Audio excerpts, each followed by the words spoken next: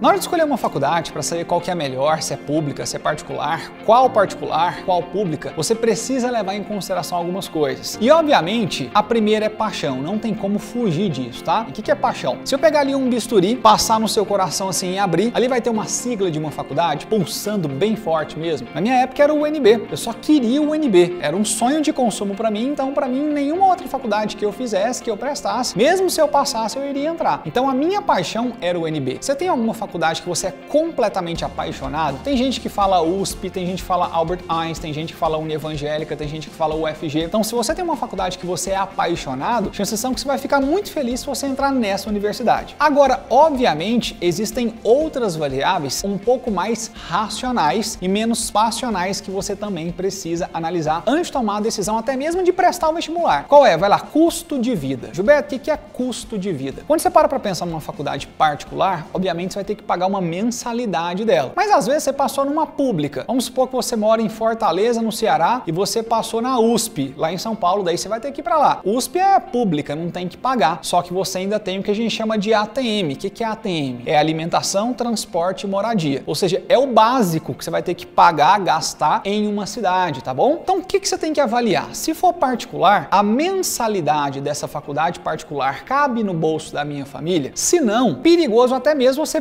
prestar o vestibular dessa faculdade. Só que muita gente fala assim: ah, Gilberto, mas eu presto, passo e depois eu vou tentar um financiamento. Pode conseguir? Pode conseguir um financiamento sim, tá? Como é que você consegue financiamento? Você tem o FIES, tá? Obviamente o FIES vai depender do estado econômico atual do Brasil. Então, às vezes tem muito dinheiro pro FIES, às vezes não tem FIES. Quando você não consegue FIES, o que, que você pode tentar utilizar? Vai, o financiamento privado da própria universidade. Então, algumas universidades, algumas faculdades particulares, elas têm seus programas próprios de financiamento financiamento, que tem algumas taxas de juros um pouquinho melhores que dos bancos e, obviamente, bem piores que do próprio FIES. Então, você procura como segunda opção esses financiamentos dessas próprias faculdades. Ah, e como é que você encontra esse financiamento? Você vai lá na secretaria dessas próprias faculdades e pergunta: ó, oh, vocês têm financiamento interno aqui? Tem o um próprio financiamento de vocês? Se não tiver, enfim, já era. Vai, se não tem FIES, se não tem financiamento dessa própria faculdade, financiamento por banco. Você vai nesses grandes bancos aí, Bradesco, Itaú, Santander, não sei mais o que, e procura, ó, oh, acabei de entrar na faculdade faculdade, tem alguma linha de financiamento aí, alguma linha de crédito propícia para mim? Daí você vai perguntar para ele se tem ou não. E aí a última opção que eu não recomendo é queimar patrimônio da família, tá? Se o FIES não deu certo, se o financiamento da própria faculdade não deu certo,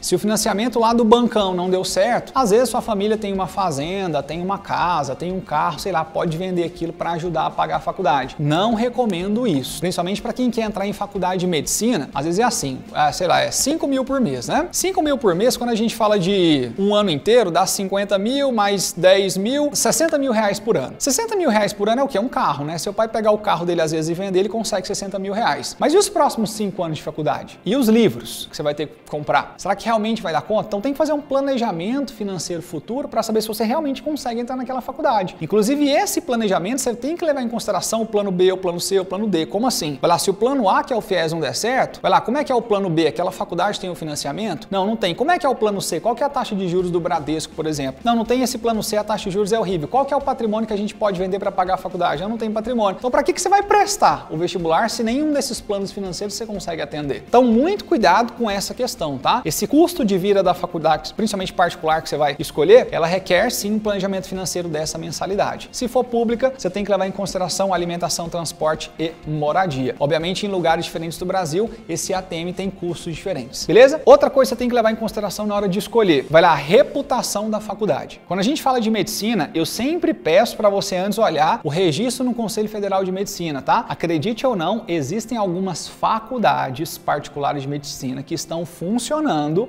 acredite ou não, sem nenhum tipo de registro do CFM. Eles estão funcionando com liminar, esse tipo de coisa, tá cheio de processo na justiça, correndo risco até de fechar a faculdade todos os alunos perderem aqueles anos que estão ali. Então, muito cuidado. Vai lá e olha certinho se aquela faculdade de medicina sua tem registro. Gilberto, outra coisa importante, ENAD. ENAD é tipo um vestibular que os próprios alunos da faculdade fazem para eles conseguirem metrificar como é que está a qualidade do curso dessa faculdade perante as outras faculdades do Brasil inteiro. Então você pode olhar a nota do ENAD em todas as faculdades. Você consegue pesquisar isso aí no Google para saber se aquele curso realmente é bom ou ruim. Outra coisa, isso aqui é bem importante, tá? Tempo de faculdade. O que é o tempo de faculdade? Quanto mais nova é a faculdade, digamos que menor é a qualidade dela, né? Gilberto, como assim? Eu tenho uma faculdade que abriu agora aqui no interior de Goiás. Primeiro primeiro ano dessa faculdade. Como é o primeiro ano de empresa, né? Porque é uma empresa também, eles tendem a errar mais ou não tendem? Sim. A mão de obra tende a ser menos qualificada ou não tende? Sim. É difícil de arrumar uma mão de obra muito qualificada logo no comecinho da faculdade. Às vezes a proposta pedagógica, a metodologia pedagógica ainda da faculdade não está muito bem alinhada, principalmente as, as faculdades de medicina. Às vezes não tem nem cadáver, não tem nem boneco direito para os meninos fazerem uma simulação ali de alguma coisa. Então, quanto menor o tempo de faculdade, menor a qualidade dessa faculdade, principalmente se ela for de medicina. Obviamente, quando a gente fala de Albert Einstein, cara, Albert Einstein é um hospital que existe há muito tempo. Aí, de repente, o Albert Einstein resolveu abrir uma faculdade de medicina. Vai começar com baixa qualidade? Não, né? Porque eles já têm um histórico no ramo da saúde há muito tempo. Então, obviamente, quando abrir ali o primeiro ano da faculdade Albert Einstein, todo mundo já quis prestar lá porque sabe que tem uma excelente qualidade. Então, vamos lá. Depois do tempo de faculdade, outra coisa que eu avaliaria bastante é a opinião dos alunos que lá estudam. Então, Gilberto, eu quero demais prestar na faculdade X, prestar na faculdade Y. Deixa eu mandar aqui um inbox para alguns meninos aqui que estudam lá. Deixa eu ver se eles realmente gostam da faculdade. Eu quero escutar as reclamações deles, as opiniões, as críticas, para realmente tornar seu processo decisório mais claro e eficiente. Reputação da faculdade você analisa assim, tá? Uma outra forma que eu até peço para os meninos olharem, quando já tem um pouquinho mais de tempo a faculdade, é saber quantos alunos foram aprovados nas residências médicas que saíram daquela faculdade particular de medicina. Por exemplo, eu tenho aqui o HC, né, que é onde o pessoal faz residência aqui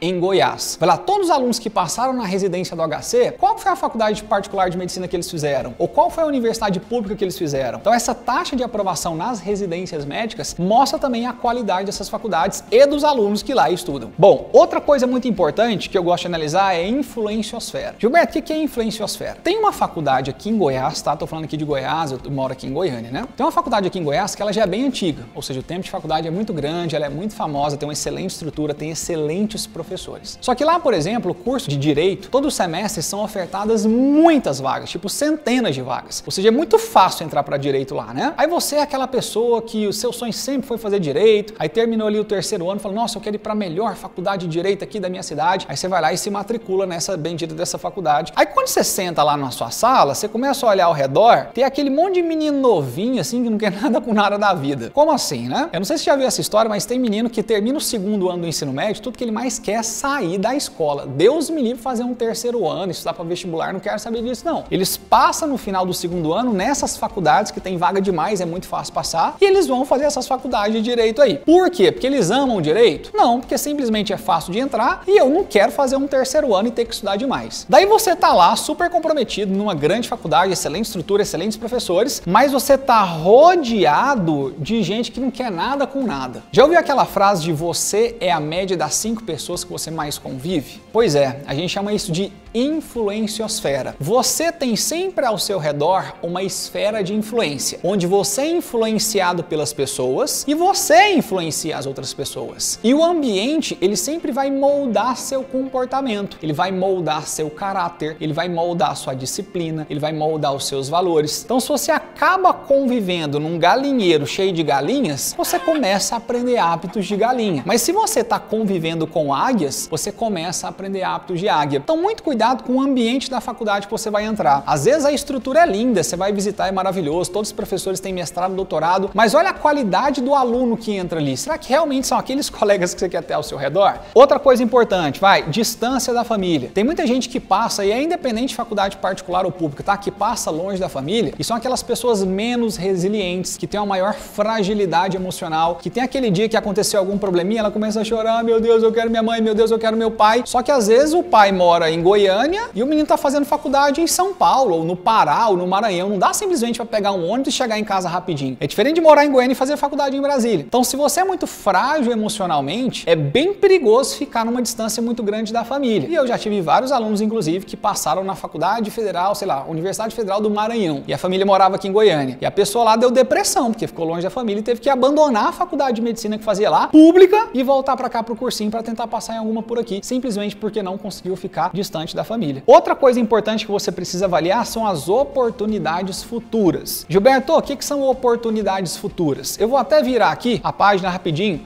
para você entender um pouco sobre isso. Vai lá, tem dois casos aqui. O menino passou numa pública, tá? Que foi a Unesp, que é estadual lá de São Paulo, e ele passou no polo de São Paulo capital, tá? Passou para engenharia. Enquanto que um outro menino também passou para engenharia na Unesp, só que no polo lá de São Paulo de Ilha Solteira. Então aqui é capital, aqui é Ilha Solteira. Vai nesse caso ele passou em públicas. Mas será que o campus que você vai prestar e vai entrar para engenharia faz diferença? Vamos lá. Agora saindo da medicina, quem faz engenharia sabe disso. É bem importante que no segundo, que no terceiro, no quarto período ali você já esteja em algum tipo de estágio ou programa de trainee. Só que estágios e programas de trainee, onde é que você consegue mais oportunidades? Vai? Na capital, São Paulo ou em Ilha Solteira, que é uma cidadezinha realmente muito pequenininha? Obviamente aqui você vai encontrar mais oportunidades de fazer estágio e trainee. A concorrência aqui de engenharia, Gilberto, é maior que aqui? É. Mas por que que aqui a concorrência é maior? Justamente por conta disso. Porque os meninos que entram para engenharia, eles sabem que aqui vão ter melhores oportunidades de estágio e trainee. Então, às vezes você fica correndo também para aquilo que tem menor concorrência, mas por que será que tem menor concorrência? Então, se você não vai passar para medicina, ela vai passar para engenharia, arquitetura, nutrição, que é importante que já dentro da própria faculdade você já esteja trabalhando, procure uma faculdade que te dê ao redor dela oportunidades de networking, de conhecer outras pessoas, de trabalhar em empresa. Que ali no final das contas, quanto maior seu networking, quanto maior sua rede de relacionamentos, mais fácil, entre aspas, é de conseguir boas oportunidades de emprego. Então é importante que você preze também sua teia de relacionamentos, beleza? E é claro que em regiões como capital, você tem mais empresas, mais pessoas, mais oportunidade de ter uma teia de relacionamentos mais qualificada. Outra coisa importante que a gente precisa falar, né? É muita gente me pergunta sobre isso. Ah, Gilberto, mas quando eu vou ali fazer para medicina, pouco importa se a faculdade é particular, se a faculdade é pública. O pessoal só quer saber se eu sou médico. Será que é assim mesmo? No curto prazo, o diploma, o título, ou em maneira geral, certificado conta? Conta, tá? Quando você é novinho ali, você acabou de sair de uma, sair de uma faculdade de medicina, né? Aí tem o Joãozinho que formou na UFG, que é uma universidade pública, e tem o, a Maria que formou na universidade particular, por exemplo. Daí os dois deixam um currículo ali, assim que eles formaram, você vai ter que deixar currículo em um monte de lugar para ver se arruma uns plantãozinhos, vai ter que mandar nos grupos de WhatsApp. Obviamente, o cara que vai escolher, se ele não tá te vendo ali na sua frente, se ele só pega os currículos, um formou na UFG, outro formou numa particular, obviamente o cara vai escolher aquele cara que passou na pública. Por que, que ele vai escolher o cara que passou na pública? Ele entende na cabeça dele que o cara que passou na pública às vezes estudou mais, é mais qualificado, e às vezes nem é. Às vezes o cara estudou demais ali no cursinho, passou na pública, mas os seis anos de medicina foi só a várzea, só era festa, academia, bebendo todo dia,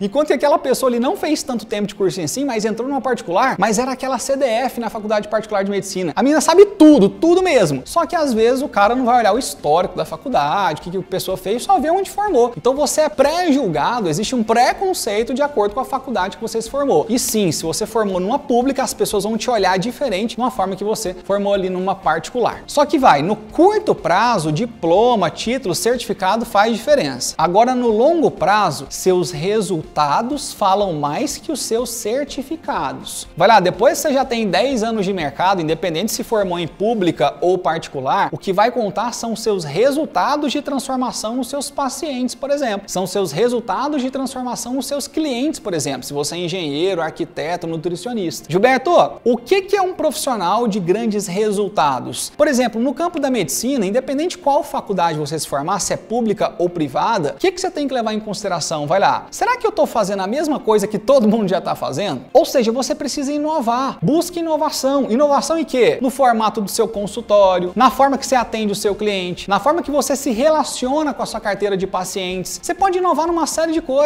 Todo mundo sabe disso, viu, gente? Sucesso na vida não necessariamente está relacionado com a quantidade de informações de genética ou fisiologia que você sabe. O médico que faz mais sucesso é aquele médico que constrói em si, ou já nasce às vezes, com habilidades socioemocionais. Quando eu falo de habilidades socioemocionais, isso é o que? Vai. Você tem inteligência interpessoal e inteligência intrapessoal. O que é inteligência interpessoal? É sua capacidade de se relacionar com o outro. Por exemplo, empatia, que é você conseguir se colocar na situação do outro. Exemplo, chegou um paciente ali que está com muita dor, ou está com câncer, ou está sentindo muita dor de cabeça. Se você é capaz de sentir a dor daquela pessoa, você tem uma capacidade muito mais humana de ajudar aquela pessoa, porque você realmente está sentindo a dor dela. Você fala, Deus me livre, eu preciso, eu preciso ajudar essa pessoa. Ela está sentindo uma coisa que eu sei que está doendo demais nela. Então logo você vai ter maior capacidade de ajudar aquela pessoa. Vai lá, liderança. Todo médico, todo engenheiro, por exemplo, eles são grandes líderes. Se você é um médico cirurgião, você sabe muito bem que às vezes você vai estar ali com um uma equipe muito grande para fazer uma cirurgia cardíaca em alguém. Se você não conseguir liderar aquela equipe, chances são que você nunca vai ser um grande médico. Outra coisa, até aqui embaixo, ó, trabalho em grupo, exatamente isso. Aquele médico que só quer ser uma estrelinha, ele às vezes nunca vai ter sucesso na vida. Você precisa saber se é uma constelação, ou seja, trabalhar com várias estrelas. E outra coisa, você tem que ter uma capacidade de comunicação muito boa. Você pode analisar que os maiores profissionais aí que você conhece, eles têm uma excelente capacidade de comunicação. Então isso é uma inteligência interpessoal, tá? Outra coisa, vai, inteligência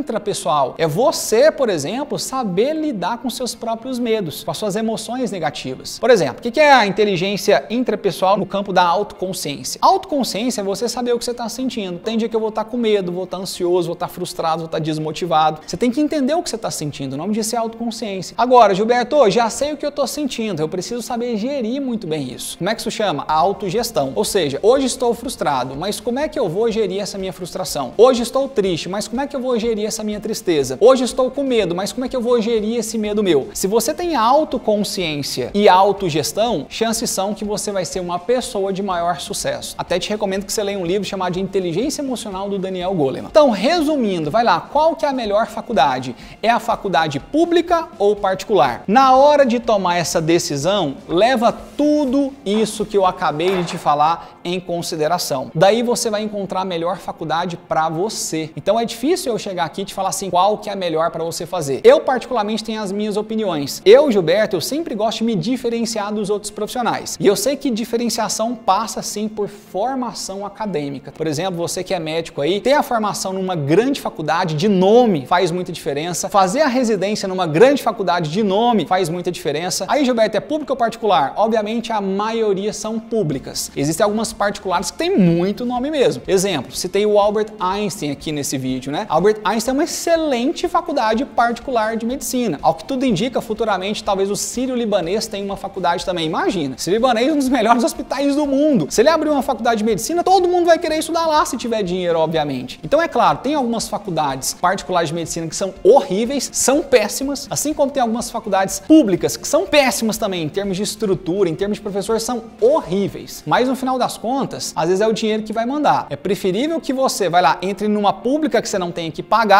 a entrar numa particular que você já sabe que é ruim mesmo, você ainda tem que pagar aquela coisa que é ruim. Então eu, Gilberto, se fosse para decidir, eu prefiro a pública. Por mais que eu tenha que estudar mais alguns anos ali para entrar numa pública, eu, Gilberto, prefiro a pública. Ah, mas eu vou ter que ficar cinco anos mofando no cursinho para passar numa pública. Não pensa no que, no que, você vai fazer nos próximos um, dois, três ou cinco anos. Pensa onde é que você vai estar nos próximos 50 anos da sua vida. É assim, nos próximos 50 anos da sua vida, você quer andar com um jalequinho bordado uma faculdade pública ou uma faculdade particular qualquer? Se para você isso tanto faz, ah, eu quero ser só mais um médico que vai atender aqui no postinho de saúde do interior da minha cidade, ótimo, qualquer faculdade tá bom, tá precisando de médico por aí. Agora, se você quer ser aquela pessoa realmente de referência, com grandes resultados, prezem ter uma boa formação acadêmica. Inclusive, tem um outro vídeo que eu gravei falando sobre esse mercado da medicina, vou até colocar o link aqui para você acessar, que vai falar um pouquinho sobre essa famosa saturação do mercado da medicina. Será que isso é um mito ou isso é uma verdade? Depois você pode assistir esse vídeo. Se você gostou desse vídeo, já pode curtir aqui, compartilhe com seus amigos. Se você tem algum tipo de dúvida em relação a isso, pode deixar aqui nos comentários que eu pessoalmente vou te responder. E até o próximo vídeo. Um grande, grande abraço.